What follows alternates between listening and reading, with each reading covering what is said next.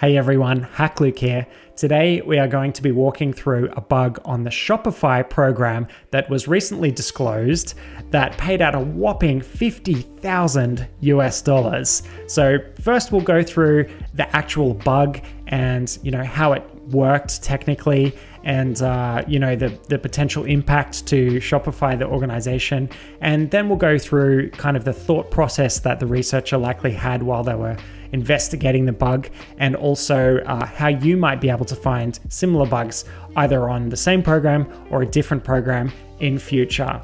Now, this is a, a, type of video that I've been wanting to do for a while now. It's great for me because these videos are quite easy to put out regularly, and I think that they'll provide a lot of value to the community, but I'm not sure. So if you do enjoy this video, if you get something out of it, hit that like button um, and leave a comment letting me know, or you can DM me on Twitter or whatever. Just let me know that you like it. And if I get some good feedback from this video, I'll make a stack more of them because uh, I can probably push one of these out every couple of days, I reckon. So um, yeah, let me know.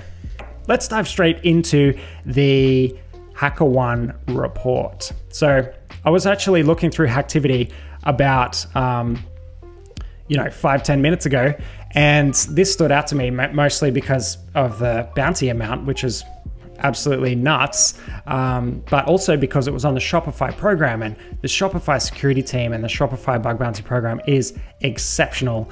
Um, I've I've had a few dealings with them, and like every time, I've just been super impressed by their their professionalism, response time, um, their their expertise, like the security expertise and, and everything. So super impressed, and um, you'll see that in the way that they handled this report as well. So the researcher was someone called Augusto Zanellato.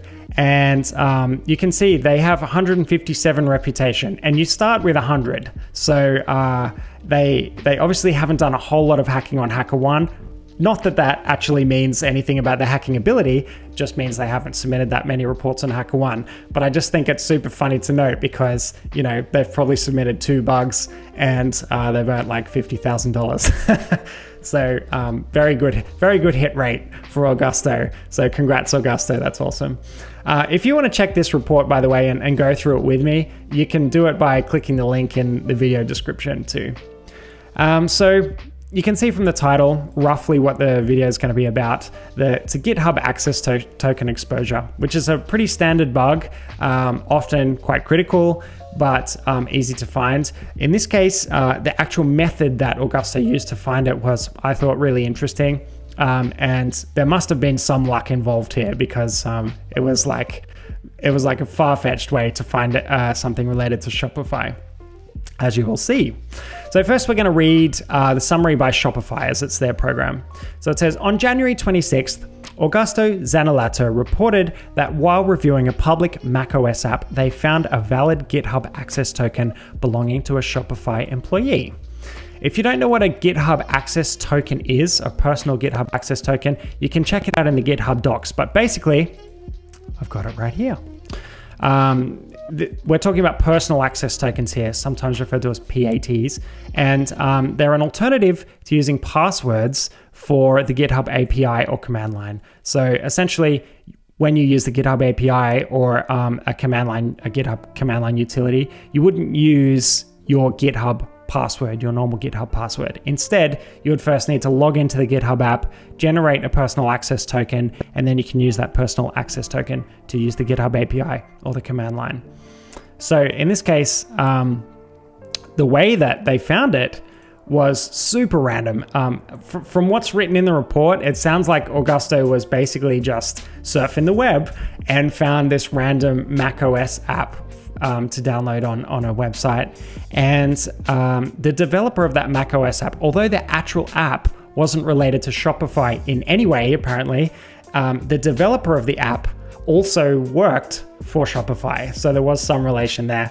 Um, and what happened was they downloaded this macOS app and they extracted the DMG. And if you don't know what a DMG is, it's a file extension type of file that um, that you typically download um, Mac, Mac OS apps in. So it's kind of like the equivalent to like a Windows installer. Um, and they extracted the files because the DMG is kind of like a zip file. You can just like uh, it's it's just like a, a packaged uh, a package of all different files that make up the application. In this case, um, he extracted it and then he found this app.asar file within there, and um, an app uh, an ASAR file. Um, basically tells you that this application uses something called Electron, um, as they've said here. So Electron is a, uh, a kind of a framework that allows you to package front-end uh, like web applications uh, into native applications that are cross-platform. So you can have Electron application, you can write an Electron application and then you can package it for like Mac and Windows and Android and uh, iPhone and, and everything. Um, so yeah, it's it's pretty like uh, it's pretty cool thing to learn because um, if you're into like web development, you can also develop native applications, which is super cool. Um, so if you've ever used Slack, Discord, um, VS Code, they're all Electron applications, right? In this case, the the app.asar file had uh, had some things in there that shouldn't have been there. Um, so you can extract an ASAR file. Again, it's kind of like a DMG in that you can extract it and view the files within it. And that's exactly what the researcher did here. So um, they used a utility called npx, which is basically for, uh, it, it's used for packaging ASAR files, but you can also use it to extract the files back out of a package. Um, and they extracted it, and then they found a file within the ASAR called .env. And a .env file, um, the env stands for environment. So what's inside it is typically environment variables. And uh, in this case, one of the environment variables was gh underscore token. And of course, the value of that variable was a GitHub token, a personal access token of the developer that created the app. Why did they have the GitHub token in the app? No idea. Um, it seems really, really strange. Um, but it does say somewhere in this report I, I saw that um, apparently the .env file wasn't even used by the app. At least um, the researcher didn't didn't find anywhere that, that that the env file was even used. So it may have been left over from some kind of deployment, like uh, something he was doing for work or who knows. Um, but somehow the .env file ended up packaged along with the, with the whole application. Anyway, when the researcher discovered this GitHub token, they thought, okay, I am going to basically see what this, this access token actually has access to. You can read here. Um, as you can probably guess, I tried using it to authenticate against the GitHub REST API using um, this command. This is the call, com command that um, they use to check the personal access token was legitimate. And um, they saw that the token was indeed valid. So they decided to hit the slash user slash orgs API endpoint, which um, will tell you what organizations that access token has access to. And uh, it says that he got back, among others, the Shopify organization, which must have been uh, a crazy moment for them. Um, then I hit the orgs slash Shopify slash repos endpoint to confirm the GitHub token scope and successfully got back a list containing both Shopify public and private repositories with um, permissions to push and pull code, um, but not admin. But still, that is absolutely crazy. The ability to push and pull code to private Shopify repositories, um, big, that's a big bug. Um, so what that basically means is, you know, Shopify would have all of these different repositories. A lot of them would be public and they're meant to be public. They're meant to be viewable by the public. And then a bunch of them would also be private. And they might include things like the actual Shopify source code. Uh, they might include things like, um, you know, internal tools or internal kind of utilities and things that they use that are not supposed to be public.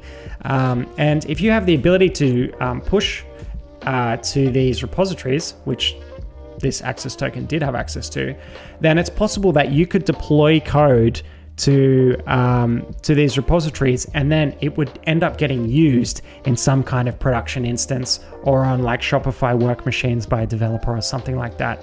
In which case, you could build a backdoor into one of Shopify's private uh, repositories, and then when it gets um, when it gets built and, and executed, uh, it might give you remote command access access on their machine, which can lead to all kinds of different things, including like completely owning the Shopify organization, um, you know, to a point anyway.